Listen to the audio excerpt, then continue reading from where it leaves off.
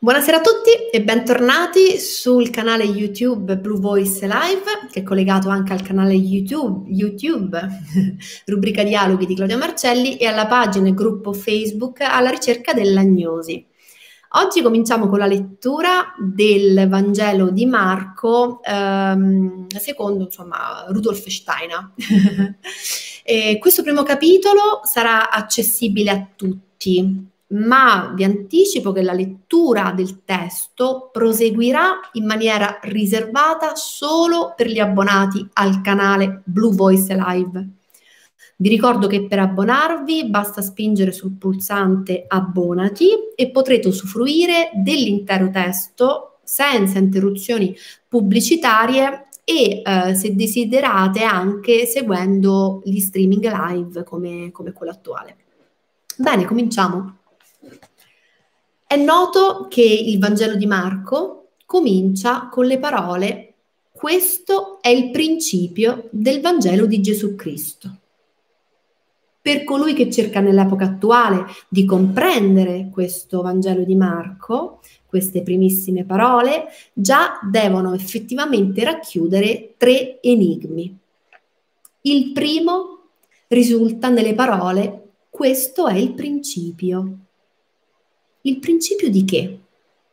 Come va interpretato questo principio?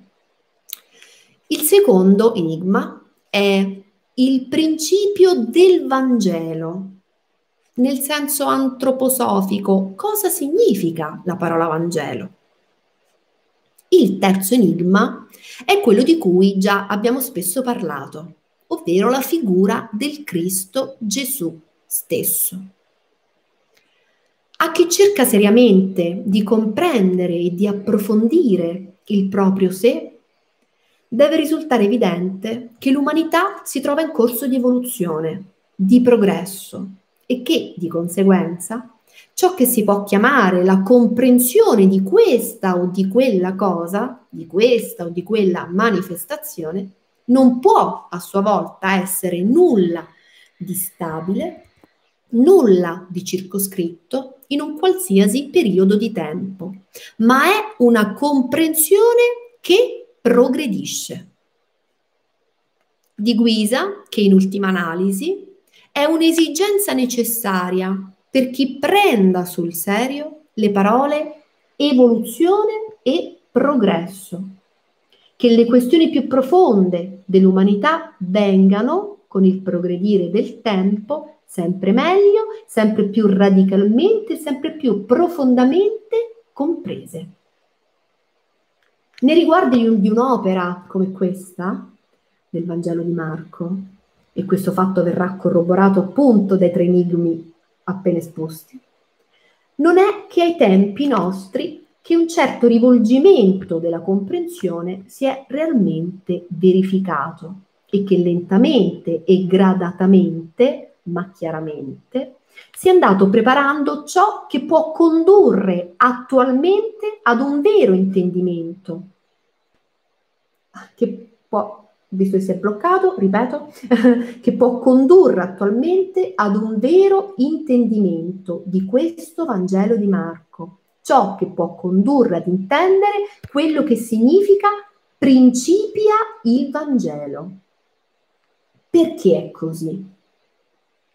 Basta gettare uno sguardo nel passato, su ciò che riempiva ancora le anime relativamente poco tempo addietro, e si vedrà come il modo di comprendere si possa essere modificato, anzi, come esso si debba essere modificato nei riguardi di un argomento siffatto. Se risaliamo indietro dal secolo XIX al XVIII e al XVII, troveremo che ci avviciniamo sempre più ad un'epoca in cui quegli uomini che per la loro vita spirituale più avevano a che fare con i Vangeli, potevano prendere le mosse da basi di comprensioni affatto diverse da quelle dell'umanità attuale. Che cosa poteva dire a se stesso un uomo del secolo XVIII, XVIII, quando voleva porsi nel generale processo evolutivo dell'umanità? se non apparteneva a coloro, e nei passati secoli erano ben pochi, che per una via qualsiasi avevano relazione con questa o con quella iniziazione, con questa o con quella rivelazione occulta. Se egli dunque era un uomo che si trovava nella vita e aveva accolto in sé ciò che viene offerto dalla vita esoterica, esteriore, Perfino gli uomini più colti, all'apice della cultura del loro tempo, non potevano, per così dire, abbracciare con lo sguardo più di tre millenni della vita dell'umanità, dei quali uno, ma questo già si perdeva in una certa oscurità nebulosa, anteriore all'era cristiana. E gli altri due millenni non del tutto completi posteriori alla fondazione del cristianesimo. L'uomo allora stendeva lo sguardo sopra tre millenni.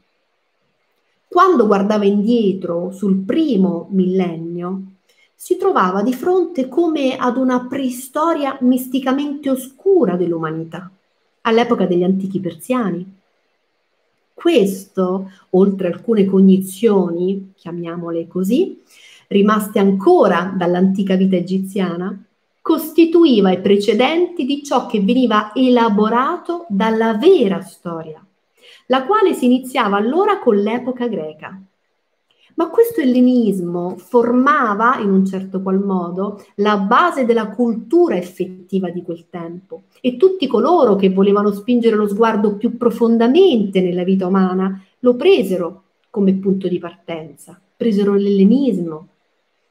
E nell'ambito di quest'ultimo comparve tutto ciò che proviene dalle epoche primordiali di questo popolo e del suo lavoro nell'umanità, da Omero dai tragici greci e in genere dagli scrittori greci.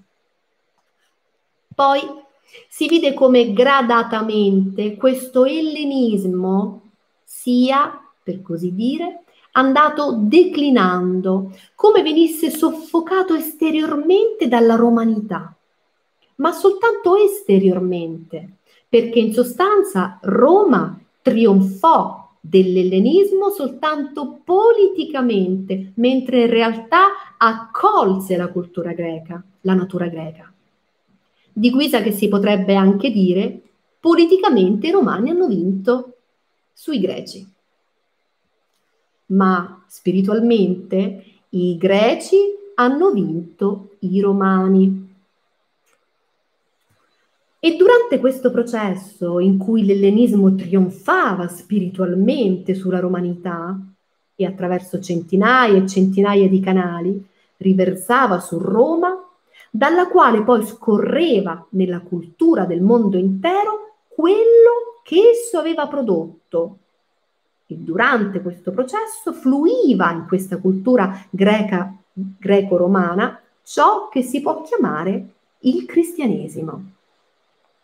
Esso si riversò sempre più in questa civiltà greco-romana e subì una trasformazione essenziale quando i popoli nordici germanici parteciparono al progresso di tale civiltà.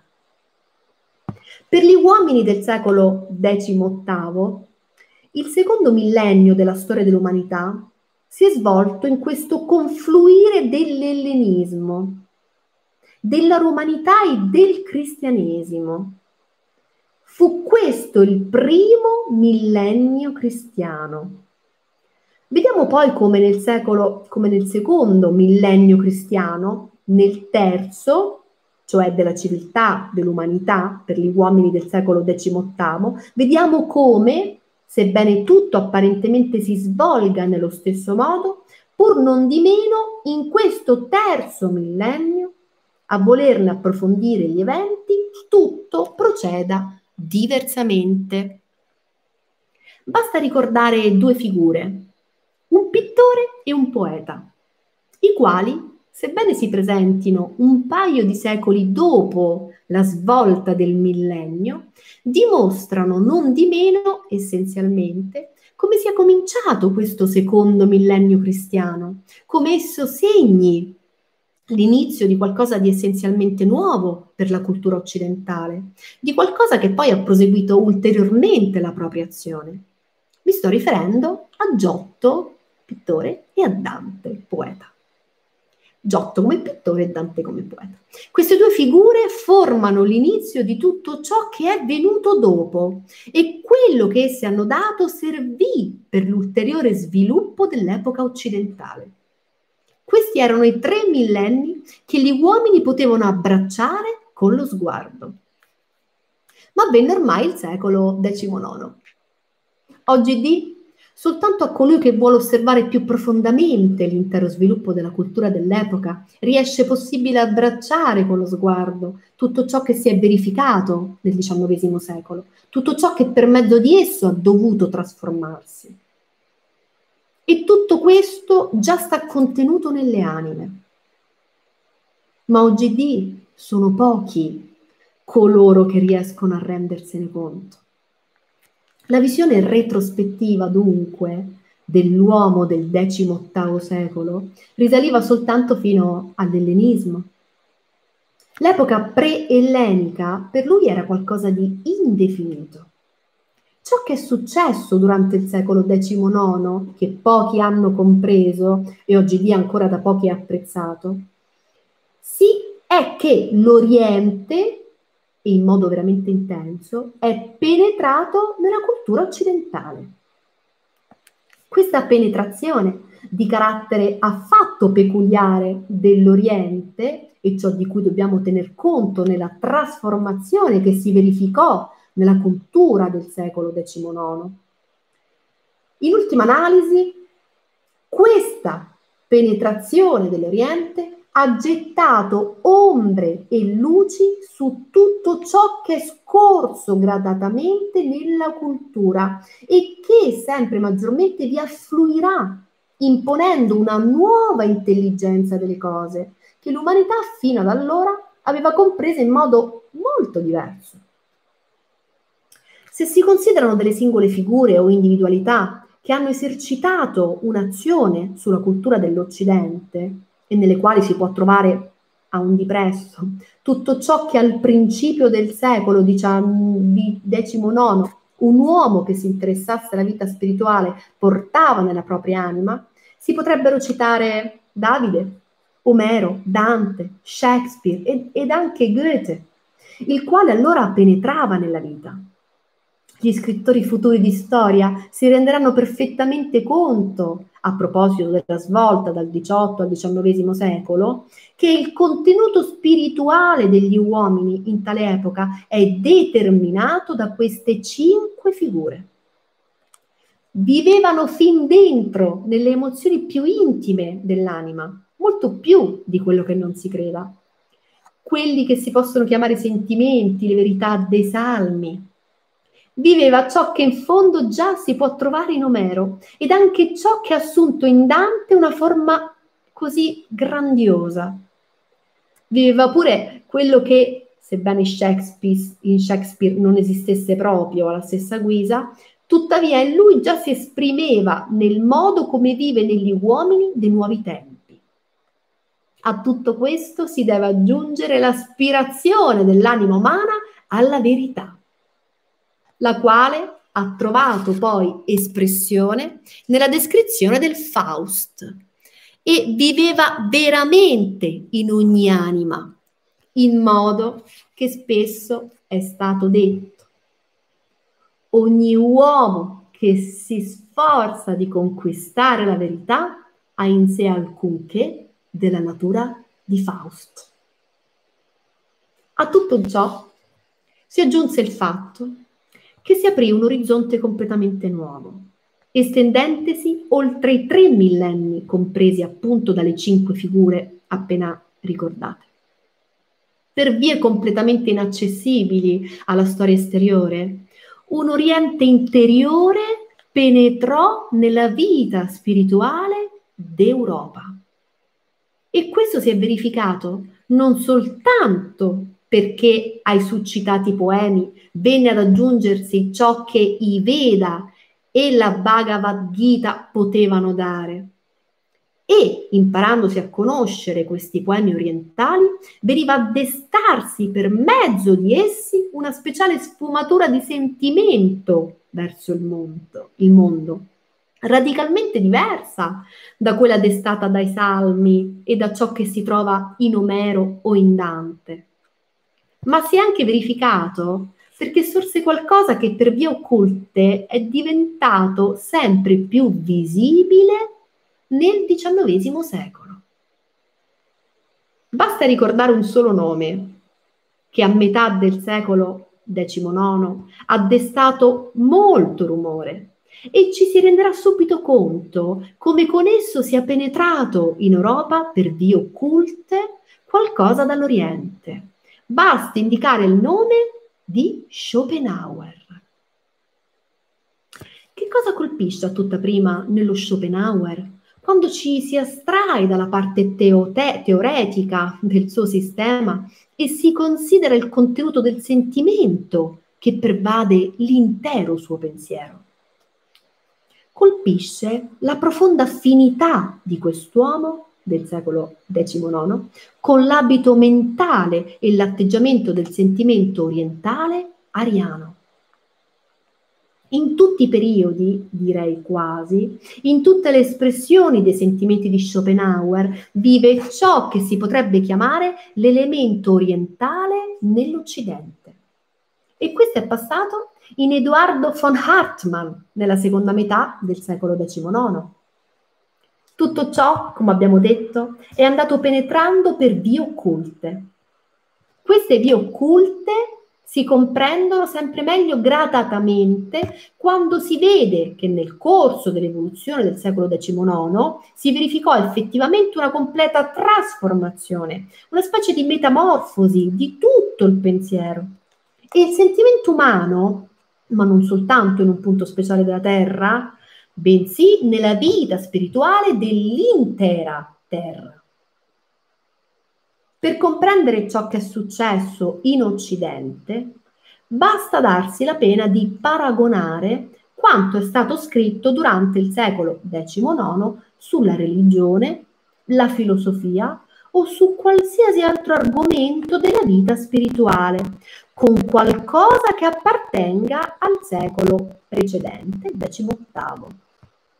Allora si vedrà come una trasformazione, una metamorfosi radicale che si è verificata. Come nell'umanità tutti i quesiti che si riferiscono agli enigmi più elevati dell'universo abbiano perduto di intensità. E come l'umanità tendesse verso impostazioni completamente nuove delle questioni, verso nuovi modi di sentire. Si vedrà come tutto ciò che prima la, la religione e quello che le appartiene aveva dato all'umanità non potesse più venir dato in ugual modo alle anime umane per mezzo di essa. Invece in Europa si chiedeva ovunque qualcosa che penetrasse più profondamente nei sostrati della religione, qualcosa di più arcano. E lo si chiedeva non soltanto in Europa. Questo è appunto il fatto caratteristico, cioè che alla svolta del secolo XIX è successo che sulla terra civile gli uomini dappertutto hanno dovuto cominciare per impulso interiore a pensare diversamente da come avevano pensato prima.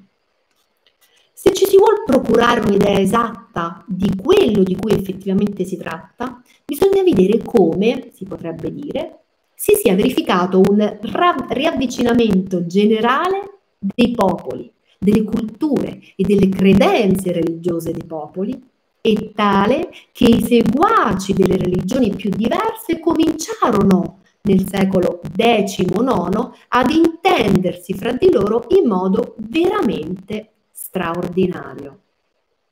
Citerò un esempio caratteristico che ci può dimostrare chiaramente quello a cui ora ho voluto accennare. Nel trentesimo anno del secolo XIX è comparso in Inghilterra un uomo, un bramino. Egli professava nel brahmanismo l'insegnamento dei Veda perché lo riteneva un insegnamento veramente giusto. Ramon Roy, morto a Londra nel 1836, aveva acquistato una grande influenza sopra molta parte dei suoi contemporanei che si interessavano a tali questioni e aveva fatto su di loro una grande impressione. Vi è di strano in lui che mentre da una parte egli rappresentava indubbiamente un riformatore incompreso dell'induismo, dall'altra però ciò che gli diceva sull'argomento poteva essere compreso da tutti quegli europei dell'epoca che si, troveva, che si trovavano all'altezza del loro tempo.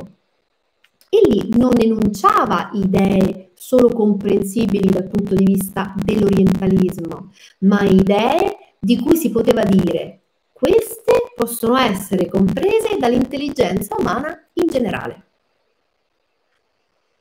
Come si presentava Ramon Roy? Egli diceva ad un dipresso, spesso Steiner meglio i traduttori utilizzano questo ad un dipresso che vuol dire pressappoco, eh? Mm. Quindi egli diceva pressappoco. Io vivo in mezzo all'induismo. In esso vengono adorati vari dei, dei, vengono adorate le più diverse divinità. Quando si chiede ai miei concittadini perché adorano questi o quelli speciali dei, essi rispondono che è un uso così antico che non sanno fare altrimenti. Così facevano i loro padri, i loro avi, eccetera. E siccome si agivano soltanto sotto questa impressione, la mia patria è caduta nella più crassa idolatria, in una riprovevole idolatria che è di onta ciò che forma la grandezza originaria della confessione religiosa della mia patria. Era questa una confessione. Egli riteneva contenuta bensì in modo parzialmente contraddittorio nei Veda, ma che Vyasa aveva ridotto nel sistema Vedanta in purissima forma per il pensiero umano. A questa fede, egli diceva, desiderava attenersi. E con questo scopo Ramon Roy non soltanto dai diversi idiomi incomprensibili aveva fatto delle traduzioni in lingua che si potesse comprendere in India, ma aveva fatto degli estratti di quello che egli considerava insegnamento giusto, diffondendolo fra gli uomini. Qual era la sua intenzione? Egli credeva di aver riconosciuto che in fondo a ciò che si esprime nei numerosi dei in ciò che viene adorato nelle molte idolatrie, vi fosse un puro insegnamento di un Dio unitario primordiale, di un Dio spirituale che vive in tutte le cose, che non viene più riconosciuto dalle idolatrie, ma che dovrà nuovamente penetrare nelle anime degli uomini. E quando questo bramino dell'India parlava in particolar modo di ciò che egli considerava la giusta Vedanta, la giusta fede religiosa dell'India, non sembrava agli uditori di sentire qualcosa di estraneo, ma a coloro che lo comprendevano bene sembrava che egli predicasse una specie di fede della ragione, che in ultima analisi ognuno potrebbe pure conseguire, purché mosso dalla propria ragione a rivolgersi al Dio unitario.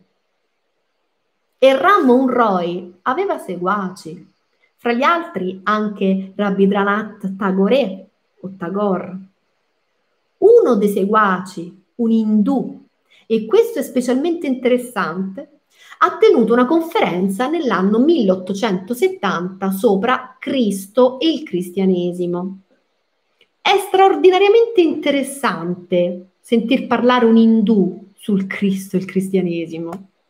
L'oratore non penetra nel vero mistero del cristianesimo, non ne parla, Dall'intero corso della conferenza si scorge che egli non può afferrare il fatto fondamentale, che cioè il cristianesimo non emana da un maestro personale, ma emana dal mistero del Golgota, da un fatto storico universale, dalla morte e dalla risurrezione.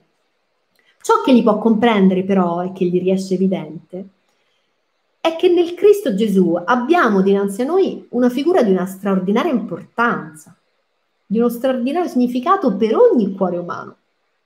una figura che deve servire di ideale per l'intera storia del mondo. È straordinario sentire un indù che parla di Cristo, sentirli riconoscere che se si approfondisce il cristianesimo si deve pur dire che questo cristianesimo dovrà sperimentare un'ulteriore evoluzione nell'Occidente stesso. Perché, diceva l'indù, ciò che gli europei portano nella mia patria come cristianesimo non mi sembra che sia il vero cristianesimo. Dagli esempi citati si vede che non soltanto in Europa gli spiriti umani hanno cominciato in un certo modo a voler approfondire le fedi religiose, ma che anche nell'India lontana, come pure si potrebbe dire in molte altre regioni della Terra, gli spiriti cominciavano ad agitarsi e ad avvicinarsi da punti di vista completamente nuovi a ciò che già avevano avuto per secoli e millenni. Questa metamorfosi delle anime nel secolo XIX riuscirà evidente soltanto nell'avvenire e la futura storia potrà soltanto riconoscere che attraverso questi processi, i quali apparentemente non interessavano che poche persone, ma che attraverso migliaia e migliaia di correnti sono affluiti nei nostri cuori e nelle nostre anime e formano il contenuto delle anime di tutti gli uomini che in un modo qualsiasi prendono parte alla vita spirituale, dovrà presentarsi ad un completo rinnovamento, una vera trasformazione di tutti i quesiti, di tutte le interpretazioni delle antiche questioni. Difatti oggi in tutto il mondo si penetra veramente molto più addietro, addentro nelle questioni. Il nostro movimento spirituale desidera appunto la risposta a questi quesiti il nostro movimento spirituale è convinto che a questi quesiti, così come vengono posti, non si trova risposta né per la via delle antiche tradizioni, né per quello della scienza naturale moderna o di una concezione del mondo che lavori soltanto con i fattori della scienza naturale moderna, ma che è necessario ricorrere alla scienza dello spirito, alle indagini nei mondi spirituali. Insomma, l'umanità oggi lì, all'attuale punto del corso della sua evoluzione, deve porre dei quesiti ai quali non si potrà rispondere se non per mezzo delle indagini nei mondi spirituali. Lentamente e gradatamente sono sorte nella vita spirituale occidentale anche quelle cose le quali armonizzano con le più belle tradizioni dell'Oriente. Voi sapete che è sempre stato ripetuto che la legge della reincarnazione risulta dalla vita spirituale occidentale stessa e non occorre che questa legge ci venga trasmessa per via storica dal buddismo. Così come oggi, per esempio, non occorre che la dottrina pitagorica ci venga trasmessa dalle tradizioni storiche. Questo è sempre stato ripetuto. Ma il fatto che l'idea della reincarnazione sia affiorata nell'anima moderna costituisce il ponte che, superando i tre millenni già caratterizzati, raggiunge la figura del Buddha. L'orizzonte venne allargato, si estese sull'evoluzione dell'umanità al di là dei tre millenni e maturarono così ovunque nuovi quesiti, ai quali soltanto la scienza dello spirito potrà dare risposta. Poniamo subito, in correlazione col Vangelo di Marco, il quesito che risulta dall'inizio di quel Vangelo, il quale dice che in questo Vangelo verrà dato il principio del Vangelo di Gesù Cristo. E ricordiamoci che subito dopo queste parole di introduzione si trova non soltanto la caratteristica degli antichi passi dei profeti, ma l'annuncio del Cristo per mezzo del Battista Giovanni e che questo annuncio viene caratterizzato dal Battista in modo che si può riassumere nelle parole si è compiuto il tempo, il regno del divino si stende sull'esistenza terrena. Che cosa significa questo? Con la luce che si può ottenere dalle indagini scientifico-spirituali moderne, cerchiamo ora di esaminare i tempi, nel centro dei quali, in un certo qual modo, sta questo compimento. Indaghiamo ciò che significa un antico tempo è compiuto, un nuovo tempo si inizia. Per meglio comprendere, occorre rivolgere lo sguardo sopra qualche evento dei tempi antichi, forse non molto antichi, e guardare poi ciò che viene nei tempi nuovi, in modo che al centro di queste due epoche che si guardano vi sia il mistero del Golgota. Prendiamo dunque qualche evento antecedente al mistero del Golgota e qualche altro posteriore e cerchiamo di approfondire la differenza dei tempi per poter riconoscere fino a che punto un tempo antico è stato compiuto e fino a che punto è principiato un tempo nuovo. E vediamo di non divagare in astrazioni, ma di attenerci al concreto. Vorrei dirigere il vostro sguardo verso qualcosa che appartiene, per così dire, al primo millennio dell'antico modo di considerare l'evoluzione dell'umanità. Dai tempi più antichi di questo primo millennio emerge la figura di Omero, il poeta e cantore greco. Poco più del nome è rimasto di questo poeta, al quale vengono attribuiti due poemi, l'Iliade e l'Odissea. Poco più del suo nome c'è rimasto e perfino su questo sono stati sollevati gravi dubbi durante il secolo XIX. Ma di ciò ora non ci preoccupa parlare. La figura di Omero è di quelle che tanto più si ammirano quanto più si imparano a conoscere. E si può dire che per colui che si occupa di queste cose, le figure create da Omero nell'Iliade e nell'Odissea si presentano a noi più viventi di qualsiasi figura soltanto politica della Grecia. Da persone diverse che hanno studiato a fondo Omero, è stato detto che dalla precisione della descrizione, dal modo che egli espone, si debba veramente ritenere che egli sia stato un medico. Altri reputano che egli debba essere stato un artista plastico e altri ancora che egli sia stato in qualche modo un artigiano. Napoleone ha ammirato la tattica, la strategia nella descrizione di Omero, altri lo ritengono un mendicante girovago. Ad ogni modo emerge l'individualità assolutamente peculiare di questo Omero. Scegliamo ora uno dei suoi personaggi, Ettore. Vi prego, appena ne avete il tempo, di osservare nell'Iliade la figura di Ettore. Vi prego, così come viene scrupolosamente descritta.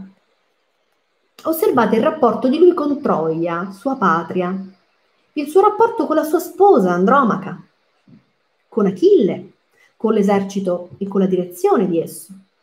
Cercate di far risorgere la figura di quest'uomo davanti all'anima vostra, di quest'uomo con tutte le tenerezze dello sposo, completamente legato all'antico senso alla sua città natale, a Troia, a che poteva essere soggetta ad illusioni. Riflettete al suo rapporto con Achille, come soltanto poteva accadere ad un grand'uomo. Ettore, come ce lo descrive Omero, si presenta a noi come un uomo di grande umanità. La sua figura emerge da tempi primordiali, perché naturalmente Omero descrive ciò che ha preceduto l'epoca sua, ciò che si perde ancora più nelle tenebre del passato. Dalla sua descrizione emergono perciò delle figure che, come tutte le figure di Omero, già appaiono assai mitiche per gli uomini moderni. Vi faccio rilevare questa unica figura, Scettici e filologi di ogni genere possono porre in dubbio che un, ettore, che un ettore sia mai esistito, così come dubitano pure che vi sia stato un Omero.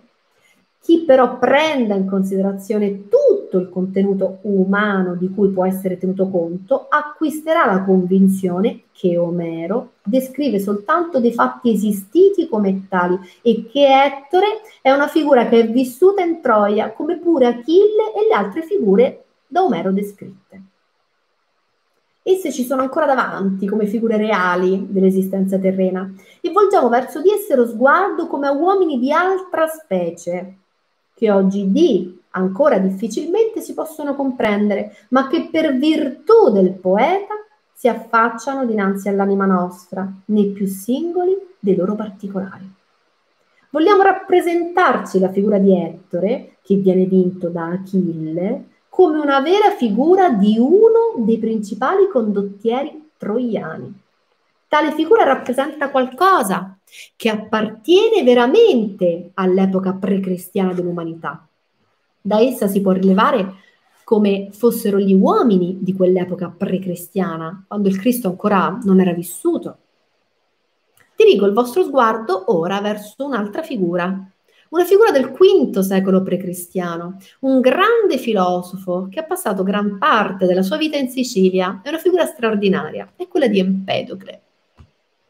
Egli è stato so- non soltanto il primo che ha detto dei quattro elementi, fuoco, acqua, aria, terra, che tutto ciò che si verifica nella sostanza procede dal combinarsi o scombinarsi di questi quattro elementi, secondo i principi di odio, di amore che dominano in essi.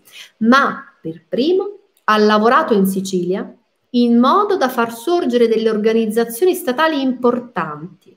Egli ha viaggiato e ha condotto alla gente alla vita spirituale. Quando osserviamo la vita di Empedocle, essa si presenta a noi come una vita altrettanto avventurosa quanto profondamente spirituale. Altri ne dubitino, ma la scienza dello spirito sa che Empedocle ha vissuto in Sicilia come uomo di Stato, come iniziato, come mago, così come Ettore ha dimorato in Troia, quale ce lo descrive Omero. E per caratterizzare lo strano rapporto fra Empedocle e il mondo, ci si presenta il fatto che non è inventato, ma vero, cioè che egli, si pose, che egli pose termine alla sua vita per unirsi con tutta l'esistenza che lo circondava, precipitandosi nell'Etna e ardendo nel fuoco di esso. Così si presenta a noi questa figura del tempo precristiano. Esaminiamo con i mezzi della moderna scienza dello spirito queste figure. Sappiamo anzitutto che queste figure si ripresenteranno, che le anime tornano nella vita. Non terremo conto delle loro incarnazioni intermedie e le cercheremo nell'epoca post-cristiana. Otterremo così un'idea della trasformazione dei tempi, qualcosa che ci aiuterà a comprendere come il mistero del Golgota abbia agito nell'evoluzione dell'umanità. Se si può dire Figure come quella di Ettore e di Empedocle sono ricomparse. Come si muovono esse fra gli uomini nei tempi post-cristiani? Se si può dire questo, si arriva a realizzare l'azione nel mistero del Golgota, il compimento e l'inizio della nuova epoca delle anime. Poiché ci troviamo qui riuniti tra antroposofi seri, non abbiamo, no, non abbiamo da spaventarci delle comunicazioni della vera scienza spirituale, che può essere verificata per mezzo di ciò che ci si presenta esteriormente. Vorrei dirigere ora il vostro sguardo verso qualcosa che è successo nell'epoca dopo il Cristo. Si potrebbe ora dire, di nuovo, che si tratta di una figura poetica, ma questa figura poetica si riferisce appunto ad una reale personalità che è veramente esistita dirigo il vostro sguardo sulla figura creata dallo Shakespeare nel suo Amleto. Chi conosce l'evoluzione dello Shakespeare, per quel tanto che esteriormente la si può conoscere, ma specialmente chi la conosce attraverso la scienza dello spirito, sa che l'Amleto dello Shakespeare è la trasformazione del vero principe danese che una volta è realmente esistito. La figura Amleto, che Shakespeare ha creato, è anche vissuta. Non posso ora fermarmi a dimostrare come la personalità storica risieda veramente a base della figura poetica creata dallo Shakespeare, ma vorrei esaminare il risultato scientifico-spirituale. Vorrei dimostrarvi con questo esempio evidente come lo spirito dell'antichità risorga nuovamente nell'epoca post-cristiana. La vera figura che risiede a base dell'Amleto creato dallo Shakespeare è Ettore. Viveva in Amleto la medesima anima che era vissuta in Ettore. Proprio da un esempio caratteristico siffatto, dal quale emerge chiaramente la diversità con cui l'anima si esplica, ci si può rendere conto di quello che è avvenuto nel tempo intermedio. Da un canto ci si presenta una personalità come quella di Ettore nell'epoca pre-cristiana. Poi penetra nell'evoluzione dell'umanità il mistero del Golgota e la scintilla che sprofonda in quell'anima fa sorgere in essa in una figura come quella di Amleto, il prototipo di Amleto, del quale Goethe ha detto un'anima che non è all'altezza di nessuna situazione e alla quale nessuna situazione conviene, un'anima alla quale è assegnato un compito che essa non può adempiere. Si può domandare perché Shakespeare ha espresso Amleto in quel modo? Egli non ne era consapevole. Chi però scruta questi rapporti per mezzo della scienza dello spirito sa le forze che vi stanno dietro.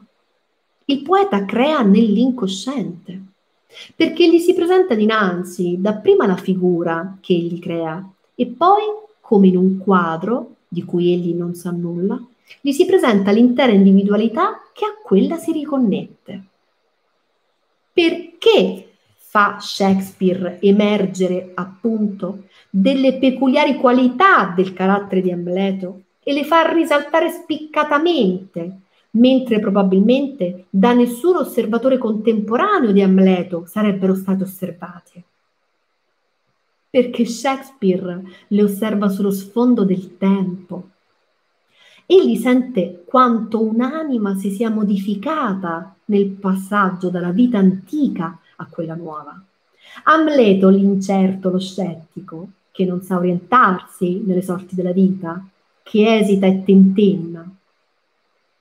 Ecco ciò che è diventato quell'Ettore, che era così sicuro del fatto suo. Dirigo il vostro sguardo verso un'altra figura del nuovo tempo, presentatasi a sua volta all'umanità come immagine poetica in un poema. Il ricordo di, del protagonista di questo poema vivrà certo ancora lungamente nell'umanità, anche quando nell'avvenire ci si ricorderà lontame, lontanamente del poeta, come ora si ricordano Omero e Shakespeare, dei quali veramente si può dire che di uno non si sa niente e dell'altro ben poco. Da molto tempo sarà già stato dimenticato, nonostante la stampa e tutti i mezzi moderni, ciò che i cronisti storici e biografi raccontano di Goethe e la ragione per cui gli uomini si sono tanto interessati di lui, quando ancora sopravviverà con grandezza, scultoreamente vivente, la figura del Faust, che Goethe ha creato. Così come gli uomini nulla sanno di Omero, ma di Ettore e Achille invece sanno molto, Così verrà un tempo in cui non sapranno molto della personalità di Goethe. E sarà un bene, ma sempre sapranno di Faust. Faust a sua volta è una figura la quale, come si presenta a noi letteralmente in Goethe, quasi come in sé completa, si riferisce ad una figura vera. Essa è vissuta nel secolo XVI è esistita qui sulla Terra, seppur non quale Goethe la descrive nella figura del suo Faust. Perché Goethe la descrive in quel modo? Goethe stesso non lo sapeva, ma quando egli volgeva lo sguardo su Faust, su quel Faust trasmessogli dalla tradizione e che già conosceva fin da ragazzo nei giochi di burattini, agivano allora su di lui le forze di ciò che risiede dietro Faust, di ciò che era un'antecedente incarnazione di Faust, Empedocle, l'antico filosofo greco. Tutto questo irradiava nella figura di Faust.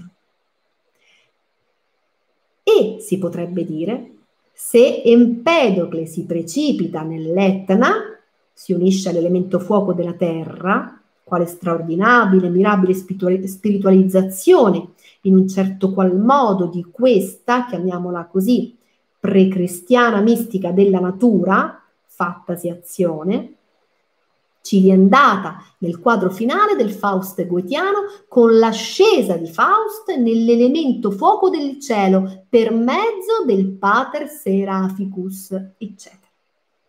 Lentamente e gradatamente una direzione spirituale affatto nuova si è andata affermando in ciò a cui gli uomini aspirano più profondamente. Già da molto tempo cominciò a verificarsi il fatto negli spiriti più profondi dell'umanità che, senza saper niente di reincarnazione o di karma, quando contemplavano un'anima per sé grande e desideravano descriverla dalle profondità della sua vita più intima, descrivevano ciò che risplendeva in essa dalle incarnazioni precedenti.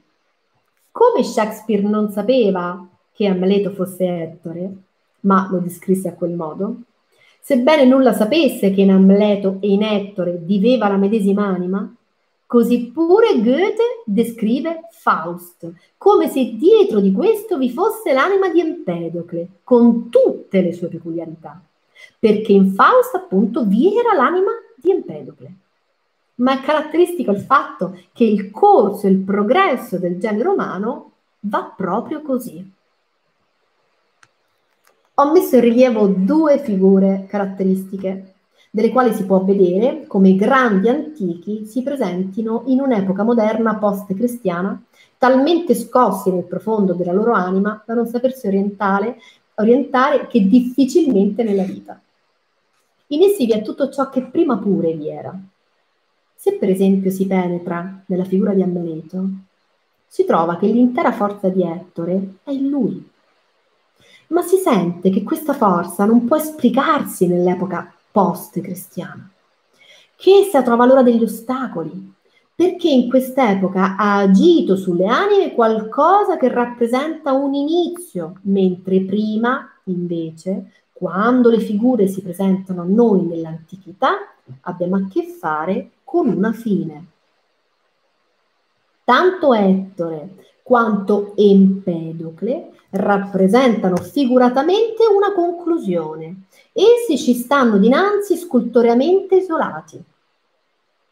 Ciò però che prosegue la propria azione nell'umanità deve saper procedere per nuove vie in nuove incarnazioni. Così Ettore in Amleto, Empedocle in Faust, il quale rappresenta tutto ciò che è voraginosa aspirazione verso le profondità della natura, il quale contiene in sé l'intero elemento empedocleo ed è il solo a poter dire, per via di questa natura così profonda, voglio per un tratto mettere da parte la Bibbia e voglio essere un naturalista e un medico, non voglio più essere un teologo.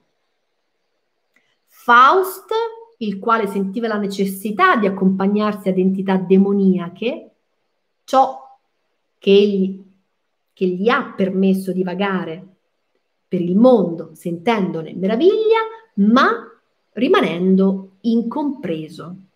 In tutto questo continua l'azione dell'elemento che proviene da Empedocle, ma che non si può orientare nei riguardi di ciò che l'uomo deve essere dopo l'inizio della nuova epoca. Ho voluto dimostrare con queste osservazioni come un violento cambiamento si sia palesato in anime molto importanti, in anime sul conto delle quali ognuno può informarsi. Ho voluto dimostrare che se si penetra nelle profondità di esse, questo forte cambiamento si fa manifesto. E se si domanda che cosa è avvenuto tra le antiche incarnazioni e quelle nuove di siffatta individualità, allora si ottiene sempre la risposta è avvenuto il mistero del Golgota quello che il Battista annunciava dicendo è compiuto, si è compiuto il tempo. I regni dello spirito o i regni del cielo passano nel regno umano. Veramente questi regni del cielo penetrano violentemente in questo regno umano. E coloro che interpretano questo fatto esteriormente non lo possono appunto comprendere questo fatto penetrò con tale forza che grandezze antiche, in sé salde e compatte, hanno dovuto ricominciare di bel nuovo la loro evoluzione sulla terra e che appunto esse, fino al termine dell'antica epoca, fino al mistero del Golgota, ci rivelano come si fosse allora consumato qualcosa che aveva trovato il suo compimento e che ha posto gli uomini in modo che essi si presentano a noi come personalità per sé complete. E si è presentato poi qualcosa per cui è stato necessario che le anime iniziassero un nuovo principio, che tutto venisse formato a nuovo, venisse rifuso e che delle anime già grandi apparissero ormai come anime piccole, perché essendo cominciata un'epoca affatto nuova, dovevano esse trasformarsi e tornare all'infanzia. Questo è ciò che dobbiamo iscriverci nell'anima, se vogliamo comprendere quel che significano le prime parole del Vangelo di Marco, il principio. Veramente si tratta di un principio che scuote le anime nel più profondo del loro essere, che porta un impulso completamente nuovo nell'evoluzione dell'umanità. Un principio del Vangelo. Che cos'è il Vangelo? È ciò che discende dai regni, da noi già spesso descritti nelle gerarchie delle entità superiori, dove stanno gli angeli, gli arcangeli, e discende attraverso il mondo, il quale si eleva al di sopra del mondo umano. Così si acquista la visione di un significato più profondo della parola Vangelo, un impulso che discende per il regno degli arcangeli e degli angeli. Questo è il Vangelo ciò che discende da questi regni penetra nell'umanità. Tutte le traduzioni astratte non colgono in ultima analisi nel segno. In realtà la parola Vangelo già in sé deve indicare che ad un dato momento comincia a scorrere sulla terra qualcosa che prima scorreva soltanto dove stavano gli angeli e gli arcangeli e che è disceso e scorre qui, giù, sulla terra e vi scuote le anime anzi agita proprio principalmente le anime più forti. Ed è questo principio, il quale ha dunque una continuazione che viene preso in conto, vale a dire il Vangelo continua. A quell'epoca vi è stato il principio e vedremo in ultima analisi che l'intera evoluzione dell'umanità da quell'epoca in poi è una continuazione del principio, cioè dell'affluire dal regno degli angeli dell'impulso che si può chiamare Vangelo non saranno mai troppe le ricerche e le indagini quando si vogliono caratterizzare i singoli Vangeli. E nel Vangelo di Marco, appunto, ci si paleserà che lo si può comprendere soltanto se si comprende nel senso giusto l'evoluzione dell'umanità, con tutti i suoi impulsi, con tutto ciò che si è verificato durante il suo corso.